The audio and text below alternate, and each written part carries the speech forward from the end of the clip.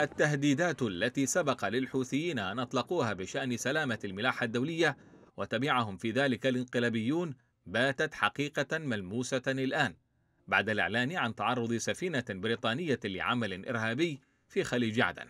وزير الإعلام اليمني قال إن ذلك من التبعات الخطيرة لإعلان المجلس الانتقالي الجنوبي ما سمي بالإدارة الذاتية، مؤكدا تأثير هذا الإعلان على توسع الأنشطة الإرهابية في السواحل الجنوبية اليمنية وتهريب الأسلحة الإيرانية لميليشيا الحوثي.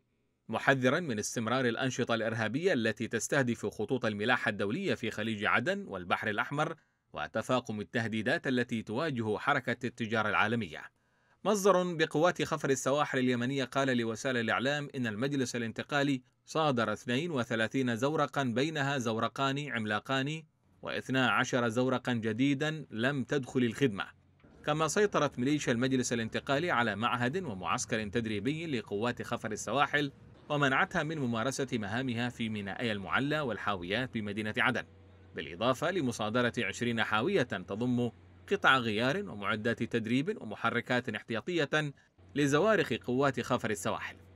تحول الموضوع إلى سجال بين ناطق التحالف والقيادة في المجلس الانتقالي هاني بن بريك الذي اتهم الحكومة الشرعية بدعم التهريب والعمليات الإرهابية مطالبا التحالف بالتنسيق مع المجلس المدعوم من الإمارات. وبعيدا عن الجهة التي نفذت الهجوم على السفينة البريطانية فإن السؤال الآن يدور حول الموقف الدولي من تطورات الأزمة اليمنية.